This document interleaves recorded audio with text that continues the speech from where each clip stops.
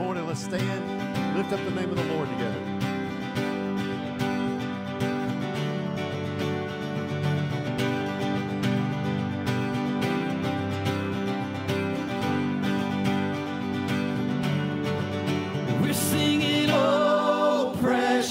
sin.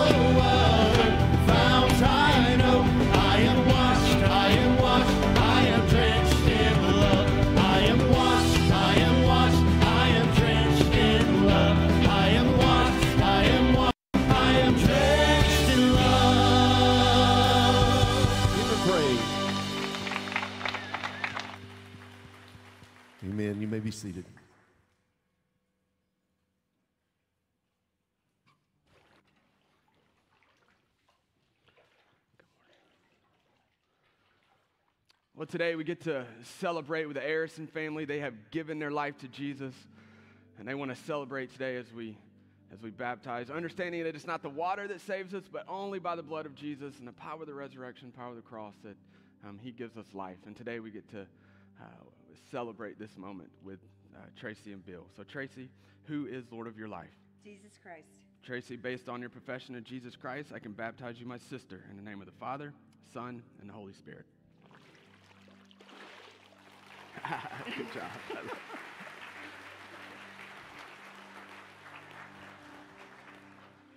and this is Bill. Bill, who is Lord of your life? Jesus Christ. Based on your profession of Jesus Christ, I can baptize you, my brother, in the name of the Father, Son. Whoa, whoa, there we go. Sorry, I need to, I need to move you this way some. Here we go. In the name of the Father, Son, and the Holy Spirit. There we go. Sorry, I tried to move you back, man. That was my fault. that was my fault. I was trying to move him forward. He thought we were going, so it's my fault. It's all right. We're good. He almost didn't get the Holy Ghost. Sir? It was real close. There, there you go. Tur- turn his mic off. Um, hey, let me welcome you guys here today. Thank you for coming. Man, wait, what a, what a joy it is to be able to celebrate with this husband and wife. Uh, may, maybe you've never witnessed uh, the act of baptism before and you don't really understand what it's about, and uh, don't worry about that. Basically, here, here it is, kind of a Cliff Notes version, okay? Uh, when somebody prays to receive Jesus Christ as Lord and Savior and they put their faith and trust in Him, the Bible says that He forgives them of all their sin. Uh, not only all the sin that they've ever committed before that, but all the sin that they will ever commit. Because the Bible says that just one sin separates us from God. And so, by putting our faith and trust in Jesus, God in the flesh, He forgives us of our sin, the debt that we owe, and instead He pays that on our behalf. And so, whenever we baptize somebody, you heard Ryan asking them the question, Who is the Lord of your life? By their own admission, when they say, Jesus Christ is Lord of my life, they're saying, My life belongs to Him. My faith and trust are in Him. And just like when they received Him as Lord and Savior, He forgave them of all their sins, water is kind of symbolic of that. Uh, some of our guys, when they baptize, I can't remember the exact wording because I don't use it this way, but they, they say, you know, like the old person dead and buried and risen to new life in Jesus Christ. So it's kind of a beautiful picture of the washing away of sin. If you'd like to know more about baptism, we can definitely go into a little bit greater depth in that conversation. But I, you know, I was just thinking this morning, maybe some of you are here, you've never witnessed this, and you're like, what is this crazy stuff going on? Uh, that makes sense if you're not familiar with it, but we'd like to talk to you a little bit more. I guess the best way to remember it is like this it's all about Jesus. Uh, matter of fact, if, if, if you just kind of approach everything around here like that, it would help make a whole lot more sense. It's all about Jesus. And if you normally attend here, and uh, you know, very easy, it's for us to forget that. Maybe you might remind yourself walking the halls today hey, it's not about me, it's all about Jesus. Uh, let me welcome you. If you are visiting with us today, we are honored that you've chosen to come and be a part of our worship service. Had a great first worship service, great crowd. We might have had more in the first worship service than we have in this worship service, which is, which is kind of backwards. It's usually right the opposite, but a great crowd we had in that first service. We had folks that made decisions, and we're just thankful for that. And uh, today, as our guest, we would love to tell you more about our church, maybe get a chance to meet you. There's a couple of ways that we can do that. Register your visit. One of them is the old fashioned way. Look at the chair pocket in front of you, there'll be a guest registration card. Pull that out, fill that out for us. Uh, at the end of the service, please bring that card right out to our welcome center. It's that big area right across from the coffee bar, right there in the mallway area. I'll be there, other folks will be there.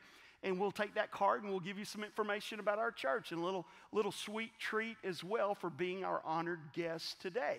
You're also welcome to take that card. You'll see all around this campus red drop boxes. And when I say red, they are fire engine red. You can't miss them. And uh, there's a little slot in the top. You can just slide that in there. We also put those out for your offerings. We won't pass a plate in here because of COVID. That's one less thing that we do. Uh, somebody asked me beforehand, I guess we'll never pass a plate again. And I'm like, bite your tongue, you heretic. Um, just as soon as I get the green light, you know, we, have almost gotten kicked out of the Baptist uh, convention because we've not been passing a plate. So uh, we'll get back to it, okay?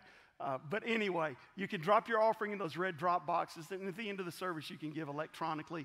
Uh, and you can also fill out a guest registration card electronically. I'll explain all that to you at the end of the service. But we're thankful that you're here today. I'm going to lead us in a word of prayer. And then after I pray, we're, we're going to continue to worship in song.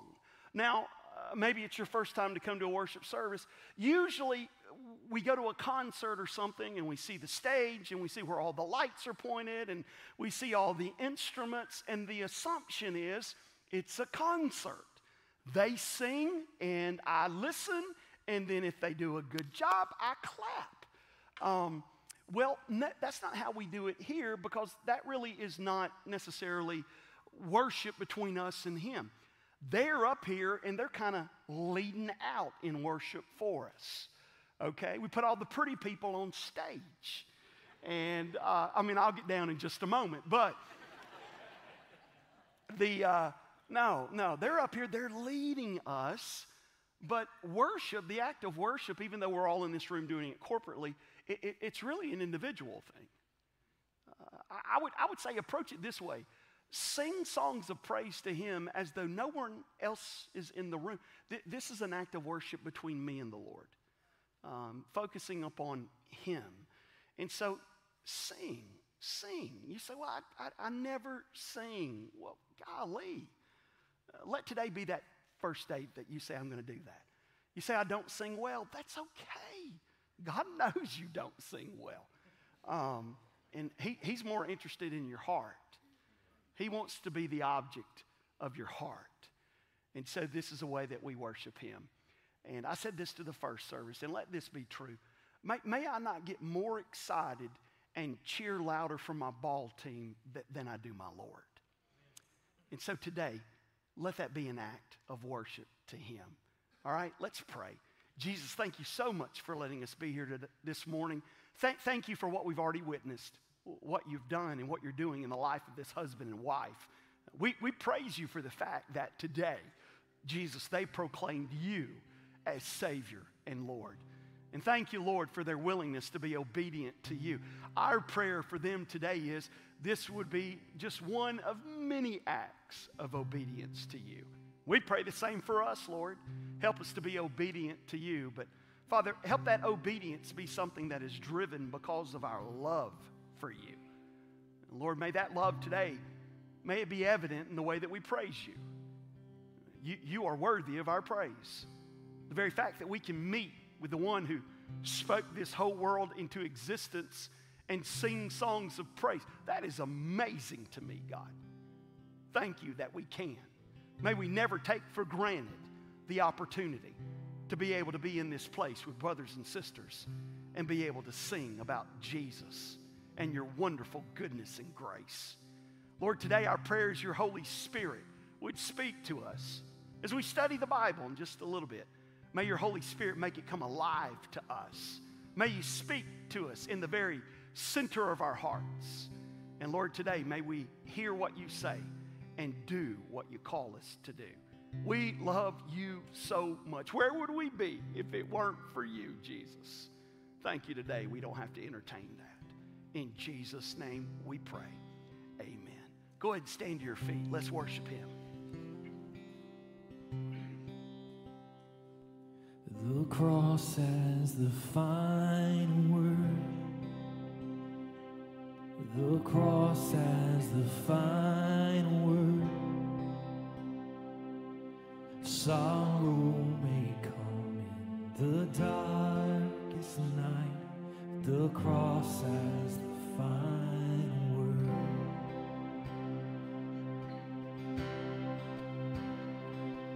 The cross as the final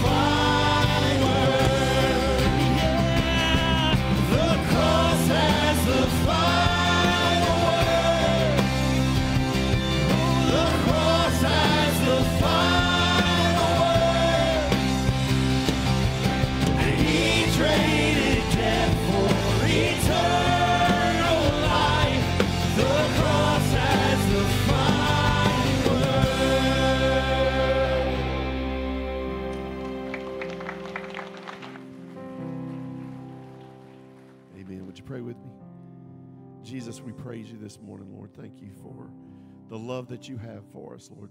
Love so much that you would go to the cross for us. Lord, we pray right now as, as we open your word, Lord, that you just um, open our minds and our hearts to what you have for us today. Thank you that we're in this place, and Lord, in everything we do, we just want to bring honor and glory and praise to the holy name of Jesus. And it's in his name we pray. Amen. You may be seated.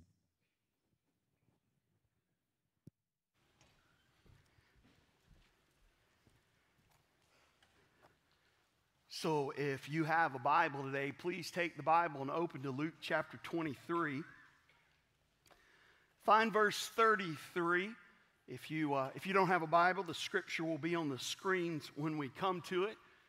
And uh, if you don't own a Bible, uh, before you leave today, stop by our welcome booth and we'd be more than happy uh, to give you uh, your very own Bible. We're in the middle of a series on Sunday mornings entitled Non Negotiables, which basically what we're saying is that there are some things that are absolute, concrete, foundational pieces to our faith. They're not open to debate, they're not open to interpretation. Again, they are non negotiable. Things that if we don't get this right, then everything else is going to be an utter failure. And so, for the last several weeks, that's what we've been dealing with, what I like to call cardinal doctrines of Christianity. And today we're going to deal with the non negotiable Jesus died on the cross. He died on the cross. Several years ago, uh, New York Yankee, Yankees famous catcher Yogi Berra. Uh, they were playing against the Milwaukee Braves before they moved to Atlanta, and they had a power hitter by the name of Henry Hank Aaron. Hank Aaron was up to the plate. Yogi Berra was catching, and as was his custom to do, he was mouthing, jawing back and forth to Henry Aaron, doing anything he could to kind of get Henry Aaron distracted so he couldn't hit the ball. And so Yogi Berra said, Henry, Henry, Henry, you're holding the bat wrong. Henry, Henry, you're supposed to hold the bat where you can read the trademark. Henry, you're holding the bat wrong. And Hank Aaron didn't say a word. Next pitch, he hit it into the left field bleachers. And as he ran and touched all the bases and he came back home, and he touched home plate, he turned to Yogi Berra, and here's what he said Yogi, I didn't come up here to read. what, what he meant was, I came up here to hit. The main thing was to hit the ball. We'd say it like this uh, the main thing is to keep the main thing the main thing. Friends, listen to me. The cross of Christ stands as the main thing to all that we are.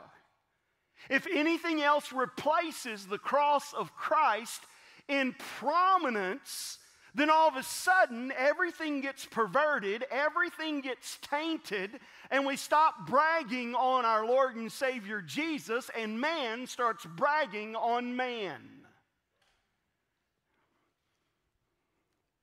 I'll give you some examples charismatic theology. Now, supposedly, I've had many people tell me this that I'm a charismatic. I, I, didn't know that, but I guess I am. A lot of folks have told me that. I'm a closet charismatic. Well, I'm, I'm not in the closet. I've come out of the closet this morning.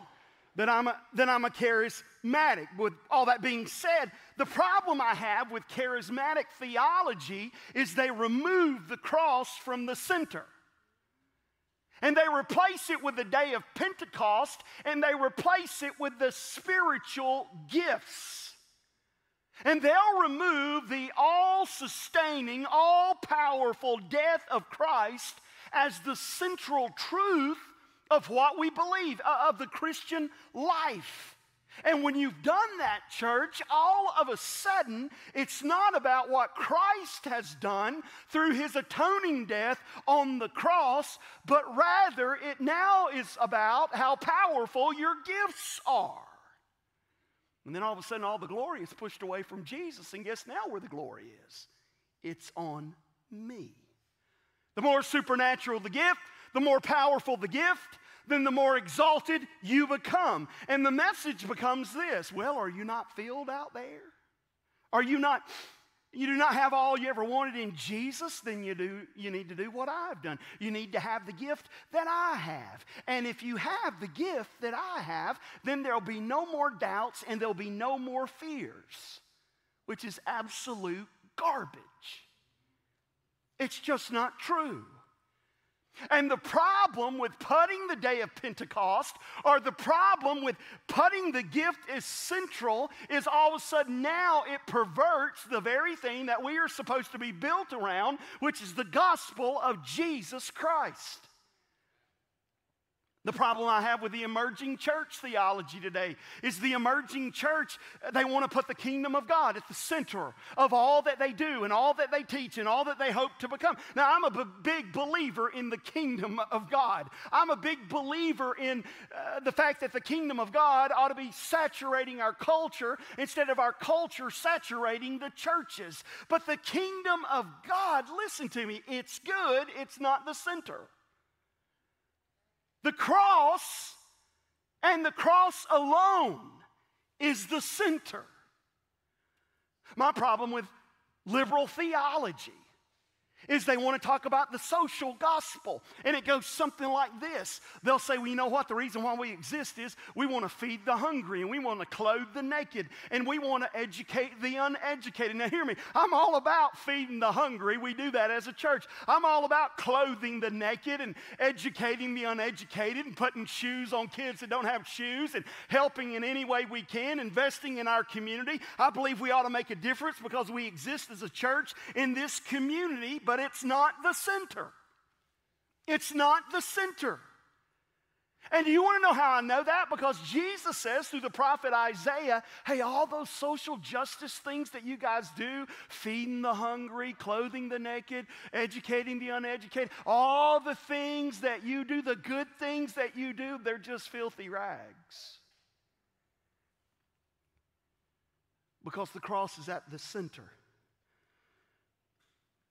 Friend, if you place anything other than the cross at the center, then you have merit to boast. And I'm telling you, nobody will ever boast in front of Christ. That's why I always laugh when people say, hey, you know, if you were to stand before God and if God were to say, why should I let you into my heaven? You know, what would you say? Can I tell you, you're not going to talk about yourself.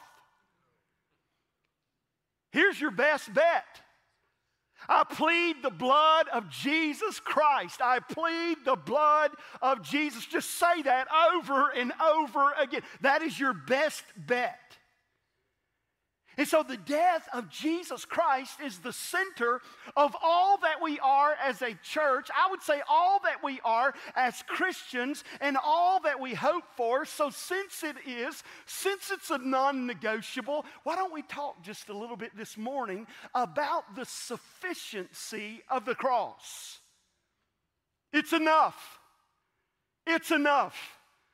All these other things that we talked about they never replaced the power of the cross. He accomplished exactly what he came to accomplish when he went to the cross and he died for you and I. Let's look there, Luke 23, verse 33. Some of you are saying, well, why are you so riled up? Well, you hadn't seen anything yet. Verse 33. And when they had come to the place called Calvary, there they crucified him.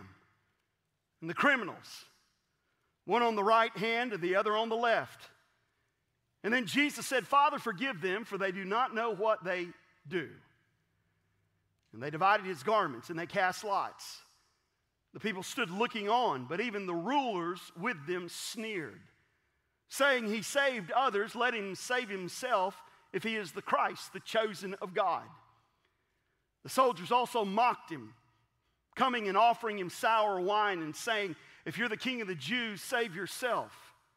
An inscription also was written over him in the letters of Greek, Latin, and Hebrew. This is the king of the Jews. And then one, one of the criminals who were hanged blasphemed him, saying, If you are the Christ, save yourself and save us. But the other criminal answering rebuked him, saying, do you not even fear God, seeing that you're under the same condemnation? And we indeed justly, for we receive the due reward of our deeds. But this man has done nothing wrong. And then he said to Jesus, Lord, remember me when you come into your kingdom. And Jesus said to him, Assuredly I say to you, today, not next week, not next month, today, you will be with me not in purgatory, but in paradise. And now it was about the sixth hour. And there was darkness over all the earth until the ninth hour. And then the sun was darkened, and the veil of the temple was torn in two. And when Jesus had cried out with a loud voice, he said, Father, into your hands I commit my spirit. And having said this, he breathed his last. So, since the cross is central to everything we do, let's take a few moments and let's talk about why it is sufficient.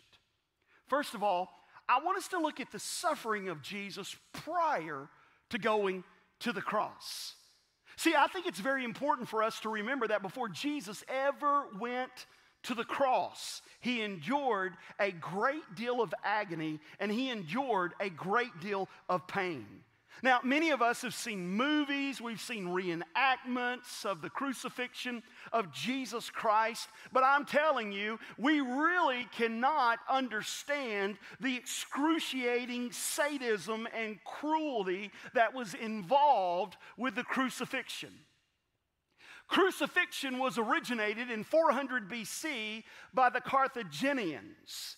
And the reason why they started crucifying people is because they said, you know what? The way that we've been killing them, it just happens too fast. They said beheading them, that's kind of a form of mercy. They're dead real quick. We don't want them to die quick. We want them to feel pain and suffering. And so all of a sudden they come up with the crucifixion. It was designed to prolong that pain. Sometime the very torture leading up to the cross would kill the victim. That made them mad because they didn't want to take their life. They wanted that to happen on the cross. So, what would happen is before they ever got to the cross, they would do everything they could to get them right up to death and then back off just a little. Notice what happened to Jesus according to our passage. First of all, he was, he was scourged.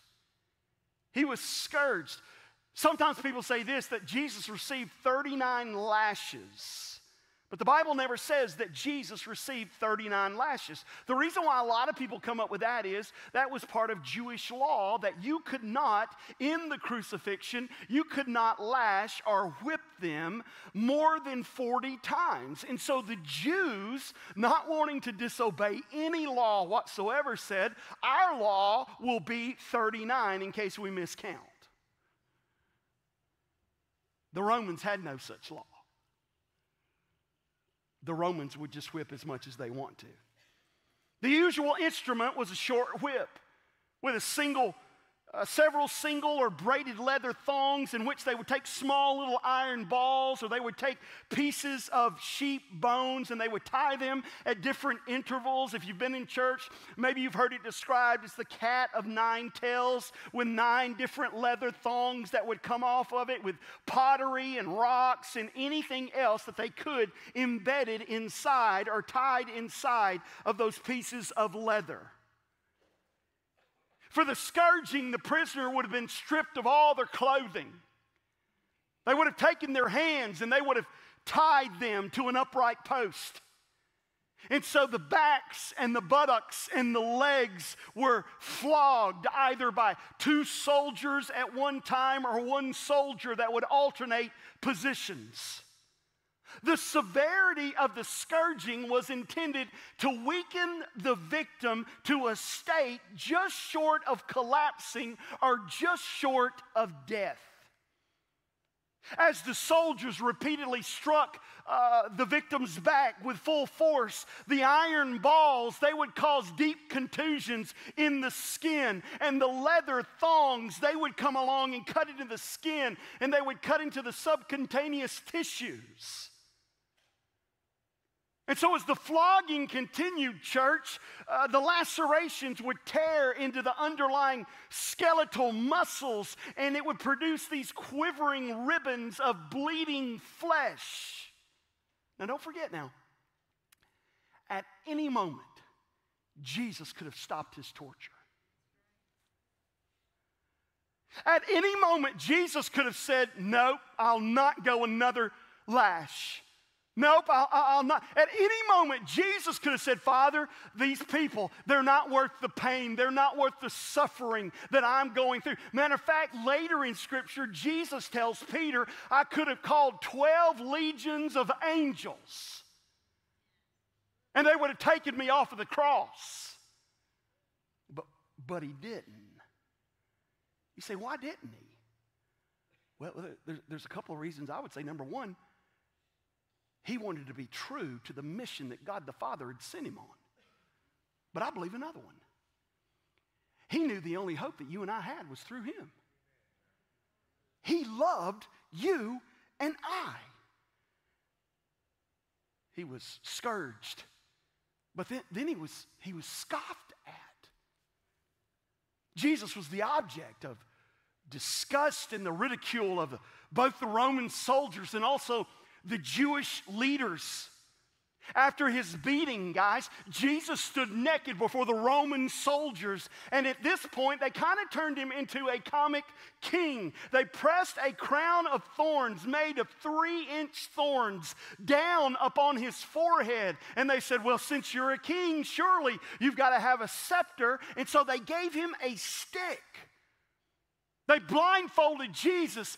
They spun Jesus around and they would slam a club into his face and they would say, Well, since you are the king of the Jews, since you are the Son of God, tell us which one has hit you. And they would laugh at him. And they would say, Hail the king of the Jews. And they spat in his face. And they plucked his beard out. And yet, in all of this, you will never see that Jesus responded in anger, that Jesus responded with hatred. The Jews ridiculed him, saying that if you are truly a king, show how powerful you are and get yourself down off of the cross. Save yourself. I'm just saying, can you imagine how our Lord and Savior must have felt with all the hatred and all of the ridicule of the very ones he came to save?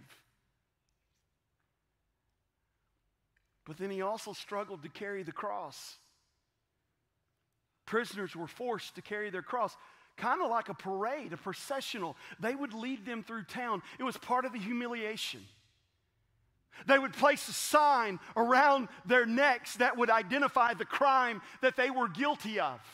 And the Bible tells us that Jesus was so weakened from the scourging, from the beatings, that he tried, but he, he, couldn't carry the cross. His body kept collapsing. He would have had four Roman soldiers around him, leading him through the streets of Jerusalem. And listen to what the Bible says. Look in verse 26. This is now as they led him away, they laid hold of a certain man, Simon, a Cyrenian, who was coming from the country. And on him they laid the cross that he might bear it after Jesus. I mean, it was no surprise that Jesus was unable to carry the cross. I mean, the loss of blood, the intense pain from the scourging, and all he went through probably left Jesus in this pre shock state. And yet we have people that are saying, well, you know, Jesus really didn't die. Jesus kind of fainted on the cross. The coolness of the tomb woke him up. His disciples nursed him back to health. I read about a person who wrote to a local newspaper advice columnist named Eutychus. Here's what they wrote. They said, Dear Eutychus, our preacher said on Easter that Jesus just swooned on the cross and that his disciples nursed him back to health. What do you think? Sincerely bewildered. Here's how Eutychus replied Dear bewildered, beat your preacher with a cat of nine tails with 39 heavy strokes nail him to a cross, hang him in the sun for six hours, run a spear through his heart, embalm him, put him in an airless tomb for 36 hours, and write back and tell me what happens. Sincerely, Eutychus. No, friend, he, he suffered. He suffered a horrendous death that belonged to you and I. And yet, He was our substitutionary atonement. He took our place. That is why the cross stands at the center of all that we are and all that we stand for. And everything that we do flows out of the love that stands through the cross of Jesus Christ. But not only his suffering, let's talk a little bit about the site of his death. Jesus was taken outside of Jerusalem to a hill called Golgotha. Golgotha means the place of the skull. Folks call it Skull Hill. Now, there's a hill outside of Jerusalem that many believe today, hey, this indeed is Golgotha.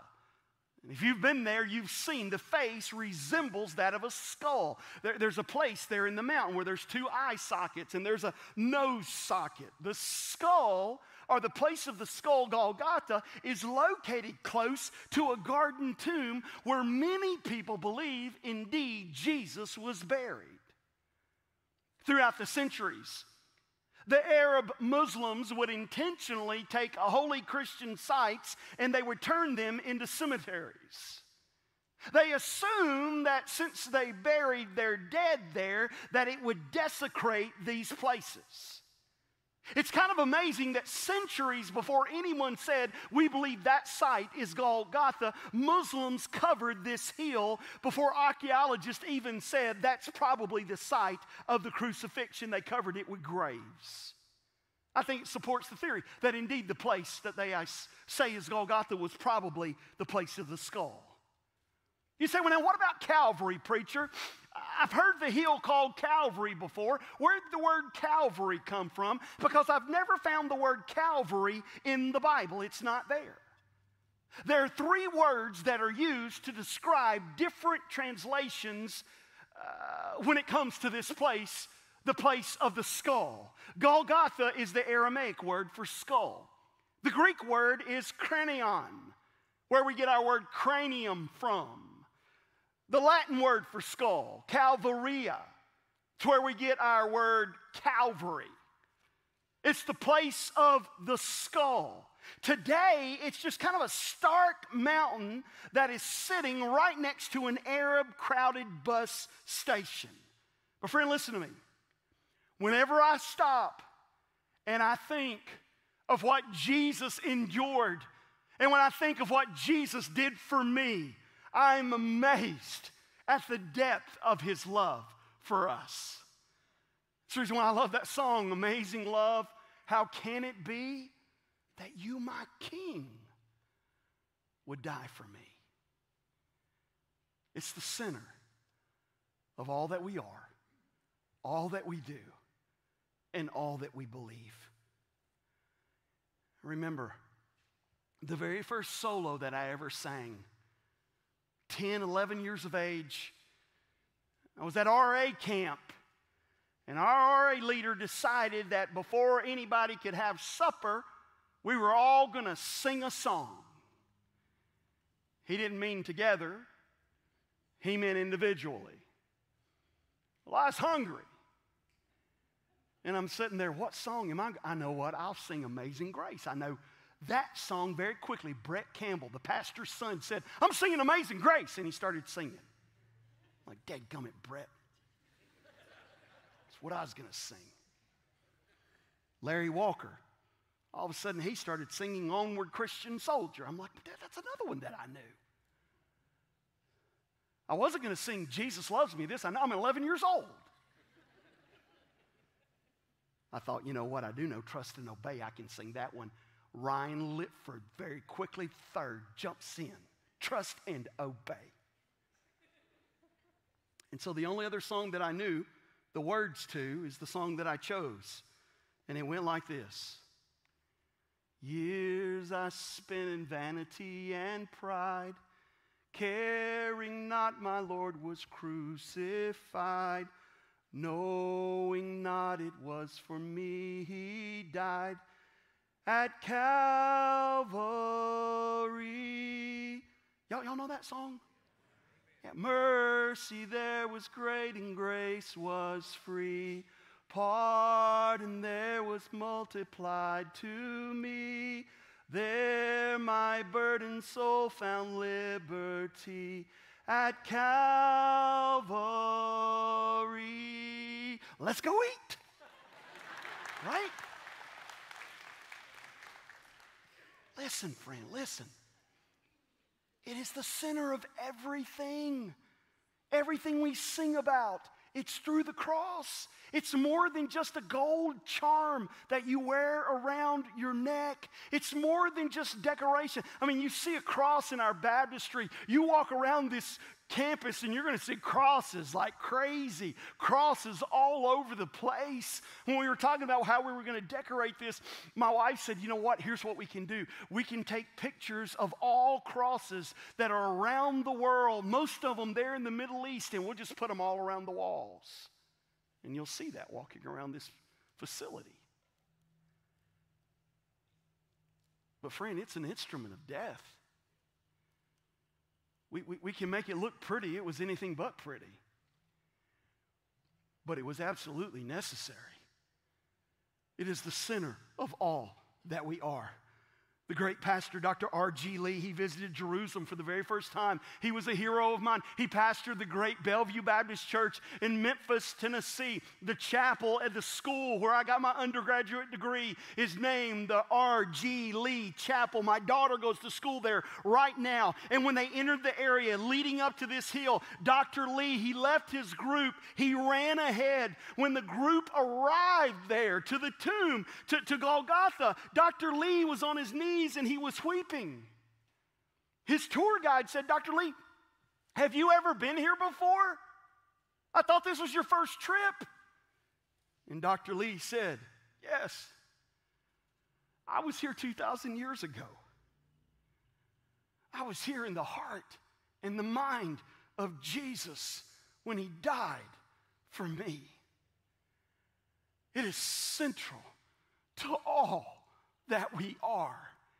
If there is no cross, then everything else we hold to, everything else that we believe, everything else that we teach and we memorize, it is all in vain. It means nothing if there was no such thing as the cross. But, but then there's a third part of this I want you to see.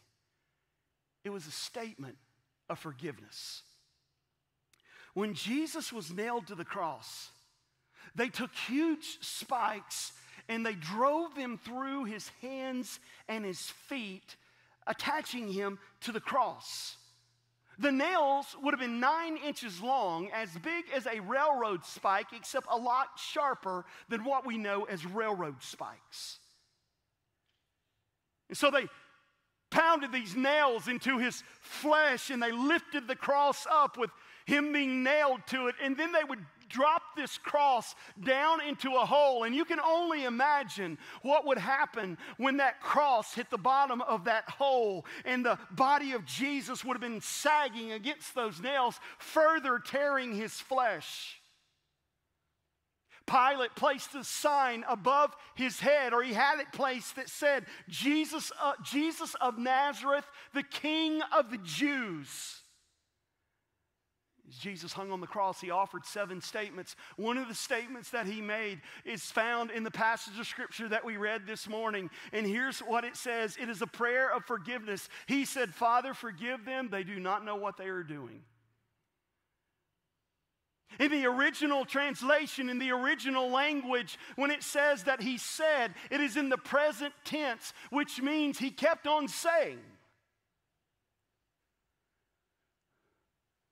When they mocked him, Father, forgive them. They don't know what they're doing. When they nailed him to the cross, Father, forgive them. They don't know what they're doing. When they ridiculed him, Father, forgive them. They do not know what they are doing. Two things about this forgiveness I believe they're worth noting. The first one is this forgiveness is our greatest need. Maybe you would say this morning, well, no, no, no, not me. My greatest need is to get out of debt. My greatest need is to make more money. Or maybe you would say this morning, my greatest need is to have more friends. I'm lonely. Or maybe you would say today, well, golly, we're living in 2021 and pandemic and COVID, all this kind of stuff. My greatest need is to be healthy. Friend, listen to me. A thousand years from now, it won't matter how much money you had. It won't matter how many friends you were or you had it won't matter how healthy you were. But the forgiveness of God will last for eternity. We all need His forgiveness. The Bible says that we are all sinners. The Bible says that we have all made mistakes, that there is not one single one of us that is exempt. That we all need forgiveness. Christ said, Father, forgive them. They don't know what they are doing. But then, secondly, forgiveness only comes from Jesus. Romans 6, verse 23. Listen to what the Bible says about this forgiveness. It says, The wages of sin is death, but the gift of God is eternal life through Jesus Christ our Lord. He prayed the prayer, Father, forgive them. He prayed that for us as well. You say, well, oh, well, did God answer that prayer? Have I, have I been forgiven of my sins? Well, that, that's up to you. Jesus has already done all that needs to be done, but it's really up to you. Jesus, Jesus offers salvation. Salvation today, forgiveness today, is a free gift, but you're not going to benefit from it until you accept it. It's available, but it's not automatic. Not everybody that has life will be forgiven, only those who come to Him by faith. God offers it. God says all that needed to be done was done on the cross. Will you receive this gift? It's free, but I'm telling you, it was an exorbitant price. It cost him his life. He took our sins on his body so that you and I might be forgiven. He took our dirt, he took our filth upon himself so that we could stand clean before God. Make no mistake, this cross is beautiful. The cross of Christ was anything but. It was bloody. It was nasty. It was grotesque. Stop and think the sin of all the world right there on the perfect lamb.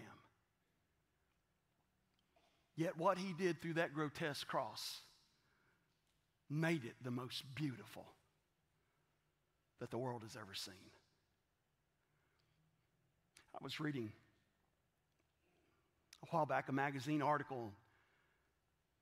In this magazine article, he was talking about the bloody cross, talking about churches, kind of like our church, and you know, you go to church and all they want to do is talk about the blood of Jesus. All they want to do is sing about the blood of Jesus. They talk about how he was crucified and they talk about the price that he paid. And church is a place where that ought not happen, you know. And, you know, we ought to be able to go in there and not have to worry about hearing all these grotesque details and all this kind of stuff that is preached in what they say are these bloody gospel churches. Now, it's amazing to me that we can go to the movies, or it's amazing to me that we can sit at our house and we can watch a movie and we can watch all this violence and we cheer it on and we say, Great, yeah, he got him. Shoot him between the eyes. Man, that's awesome. That's great. He deserved it, but don't talk about it in church. Come to church and suddenly we're squeamish. Don't talk about the blood of Christ. I want to go to a church where they don't sing about the blood of Christ. Friend, without the atoning blood of Christ, there is no remission of sin. Somebody says, you know what, I want to go to a church where the preacher is calm. Hey, that's fine, long as he preaches the cross. Long as he preaches the blood of Christ, that's fine. Somebody said, Well, I, would rather be a part of a subdued service where the music's not so loud and uh, we get to sit and we don't have to stand, where, where, where the preacher doesn't yell at you and spit and all that kind of stuff. Hey, that's fine, long as he preaches the cross. You say, I want to go and be a part of a church where they sing old songs. Well, that's fine, long as they preach the cross. I want to go to a church where they sing new songs. That's fine. Long as they preach the cross. I want to go to a church where they don't freeze you out and they turn the heater on. hey, that's fine. That's fine, long as they preach the cross.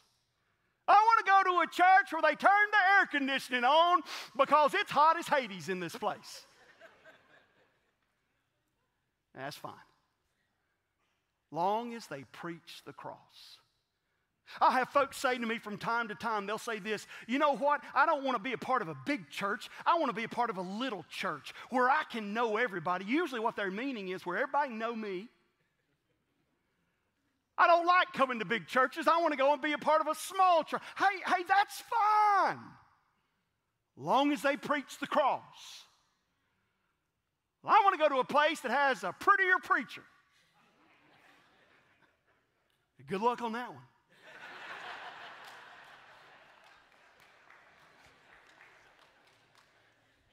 this just doesn't happen naturally. It takes a long, lot of work to look like this.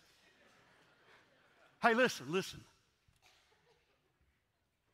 As long as he preaches the cross, it doesn't matter. See, see, all these things that we get so worked up over, and yet the cross stands at the center of all we are and all we hope for. It's the cross. From time to time, I'll get folks who, who, uh, trying to figure out what, I don't want to say this. They will, um, they'll want to encourage me uh, in my preaching, and they will, uh, they will send me things.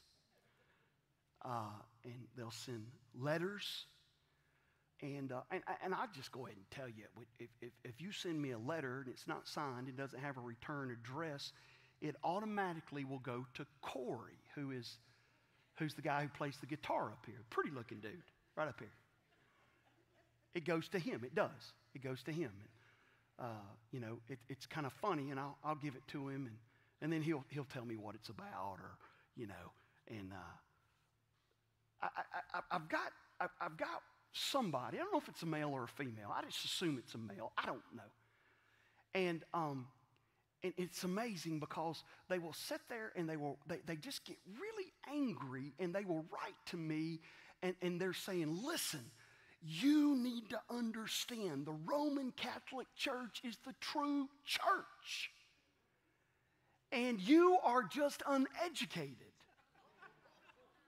and, and, and i used to be where you are but i have been enlightened and, and, and, I, and, and, they'll sit there and go into great detail and will just kind of, you know, say really, really bad stuff about me and this and that and, you know, kind of pitying me. And at the end, they're like, I'll be watching this Sunday. I'm like, well, my remote has a button. Turn that TV off. They'll be watching this service. I look forward to your next letter. great, great reading for Corey. I got a box full of books to enlighten me in the true church. Came, I don't know, last week, week before last. And, uh, and, I, and I opened it because I'm like, ooh, a box. And, and I didn't even look to see if it had a return address. And I opened it up, and there's a big long three page letter. And there's all these books. You need to read these books so that you can understand the central truth of, of, Christianity because the central truth of Christianity is through God's church, the church, the Catholic Church. Um, I've not read the books. We have saved the books. Our plans are, we're waiting, kind of warmed up last week, messed us up a little bit um, and, you know, we're waiting for it to maybe have another cool streak. And, and I've been looking around. I have, I have found the, those really long beef hot dogs. And, and we're going to we're gonna start a fire with those books. I, I'm serious. We're going to, one afternoon when you drive by and you see me and Corey out in the front parking lot with a fire going, and we've got hangers roasting hot dogs, you'll know I'm burning the Catholic books. And really, if you could send me three or four more, it would help the fire out tremendously. I'm going to bring some gas. We're going to torch it. Maybe not the front, the back parking lot. We just redid the front one. Hey, hear me, church. Hear me. Hear me. We do not stand here today, nor do we teach, nor do we preach nor do we do anything to say we do this because we are the church of Christ. We do this because we are the God ordained denomination. We do this because we have any corner market on anything. The only reason we do what we do, we are what we are, and we hope for what we hope for is because of the cross of Jesus Christ. That is the center of all that we do and all we will be. And I'm not going to back up and apologize for it. The moment I do, kick me out.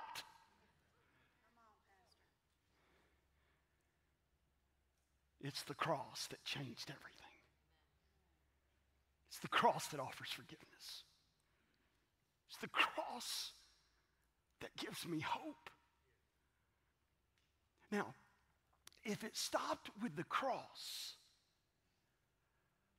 well, we'd be a pretty pathetic group, wouldn't we? Yeah. If he merely died on the cross, we wouldn't be talking a whole lot about him today. Spoiler alert. he rose again.